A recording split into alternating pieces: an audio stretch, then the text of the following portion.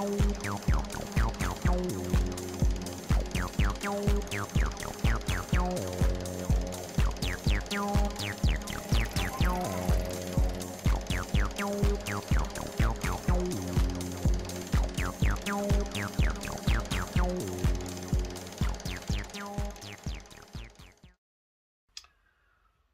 Liebe Filmfreunde, ich grüße euch ganz herzlich mit ein paar Neuigkeiten bezüglich meines YouTube-Kanals.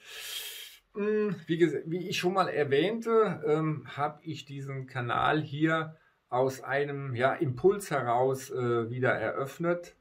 Und ähm, ja, ich muss sagen, ähm, ich war dann mit den ersten Videos, die ich so ähm, produzierte, überhaupt nicht zufrieden ähm, das ist nicht so der, den Anspruch, den ich äh, an mich selber stelle.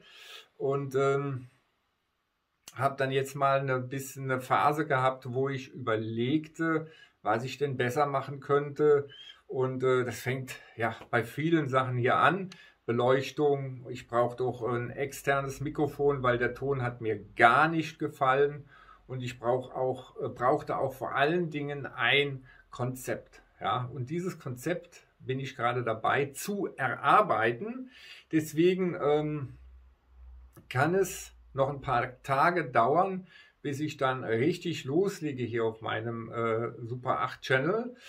Ähm, ja, wie gesagt, ähm, das war alles so ein bisschen Hals über Kopf Aktion und ähm, ja, die Reviews so rauszuhauen, ohne zu schneiden, ohne ein Konzept dahinter zu haben und ähm, einfach nur und jedes Mal Unboxing. Ja, ich, ihr habt ja selber festgestellt, äh, ich habe sehr, sehr viele Unboxings hochgeladen. Ähm, ist nicht unbedingt äh, jetzt äh, das, was ich unter einem YouTube-Kanal verstehe, der sich mit dem Thema Super 8 beschäftigt.